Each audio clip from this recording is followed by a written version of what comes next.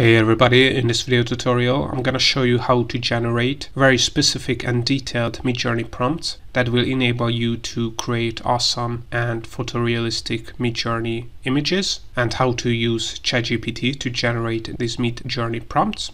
Right, so if you want to generate Midjourney prompts with ChatGPT, one of the best ways is to use the photorealistic ChatGPT plugin. And you can enable this plugin by first making sure that plugins are in general enabled in your account. Then you also have to make sure that you have installed the plugin. If you haven't installed the plugin yet, make sure to select GPT-4, and select plugins from this list then scroll down and click on plugin store and install the plugin. As you can see, I've already done that. And last but not least, you also have to enable the plugin. And let's see an example. By the way, if you want to learn about some of the use cases of this plugin, I have an article on my website that I will link out in the description below where you can check out some of the best prompts and use cases for this photorealistic ChatGPT plugin that is able to, as you can see, generate photorealistic prompts for Midjourney.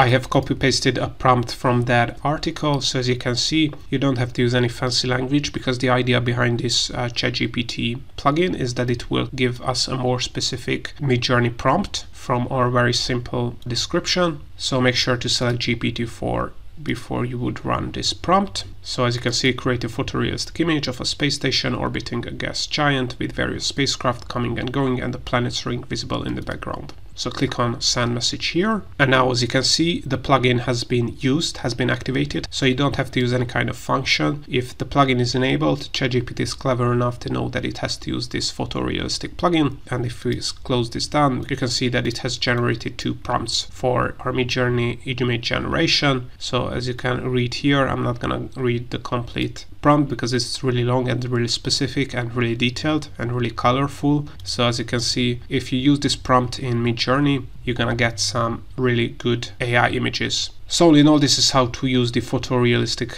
ChatGPT plugin to generate Midjourney prompts. If you want to learn more about other ChatGPT plugins, like plugins for marketing, SEO, business, finance, and a lot more, check out my YouTube channel where I have a ton of tutorials on ChatGPT plugins and more tutorials are coming up, so make sure to subscribe to my YouTube channel. And also, if you want to get access to the complete ChatGPT plugin database that includes categories, searchable descriptions and more, you can also find the link to that in the video description below.